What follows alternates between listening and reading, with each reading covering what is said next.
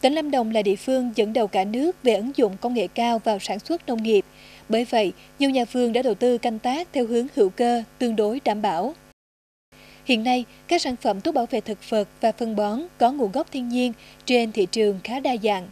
Điều này đã hỗ trợ rất lớn cho những nông hộ đầu tư canh tác nông nghiệp theo hướng hữu cơ vi sinh. Tuy nhiên, nhiều nhà vườn thừa nhận bà con đầu tư nông nghiệp theo hướng hữu cơ vẫn còn theo kinh nghiệm truyền miệng. Những nhà nông thực sự am hiểu về nông nghiệp hữu cơ hoặc sản xuất nông nghiệp theo hướng hữu cơ chưa nhiều. Bởi vậy, quy trình canh tác tại một số nông hộ vẫn còn chấp vá, tỷ lệ phân hữu cơ và vô cơ chưa khoa học. Lâu nay có xài hữu cơ mình rất là nhiều nhưng mà thắc mắc là nó uh, hỗ trợ cho cây như thế nào, cho đất ra sao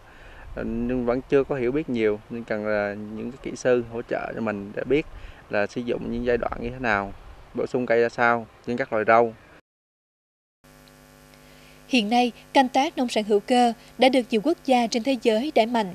Bởi đầu tư theo hướng này, môi trường canh tác cũng được bền vững do lượng phân, thuốc cung cấp cho cây trồng có nguồn gốc thiên nhiên, không làm chai cứng đất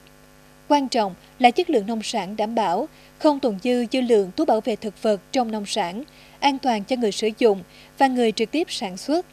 Tuy nhiên, do phải tuân thủ quy trình canh tác nghiêm ngặt, nên năng suất các mặt hàng nông sản hữu cơ thường rất thấp, mẫu mã không bắt mắt, giá thành cao. Bởi vậy, khi đầu tư vào lĩnh vực nông sản hữu cơ, một trong những bài toán cần đặt ra là thị trường tiêu thụ phải ổn định với giá thành hợp lý.